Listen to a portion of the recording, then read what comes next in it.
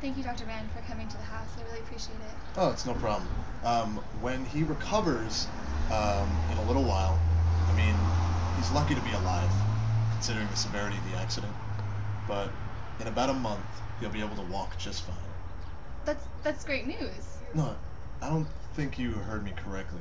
He'll be able to walk just fine. He, Right. He's a he's a paraplegic. I'm sorry, what? Uh, paraplegic. A paraplegic? I thought you said he'd be able to walk.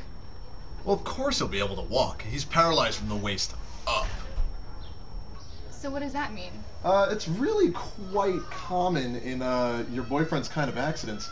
Uh, he injured his spinal cord in a car accident, uh, leaving his uh, brain, lungs, heart, kidney, stomach, pancreas, thymus, adrenal glands, uh, testes are going to be great, uh, gallbladder, quadriceps. Um, yeah, he should be quite good. I mean, I don't want to alarm you. I make it sound worse than it is. He'll be able to walk just fine. But I don't think you understand. No, no, no, don't worry. Oh, here comes Noah right now.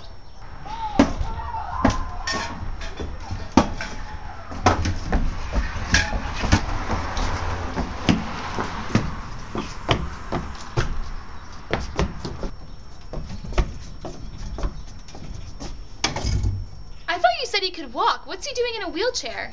Oh, no, no, no, no, no. That's an armchair. It's for people like your boyfriend in his condition to rest his upper body. Noah, it's gonna be okay. We're gonna get through this. Oh, you're gonna have to yell pretty loudly. Uh, into into his legs, I mean. He's completely deaf after the accident. Uh, I, I'll show you. Come on, boy. Let's show him how healthy you are.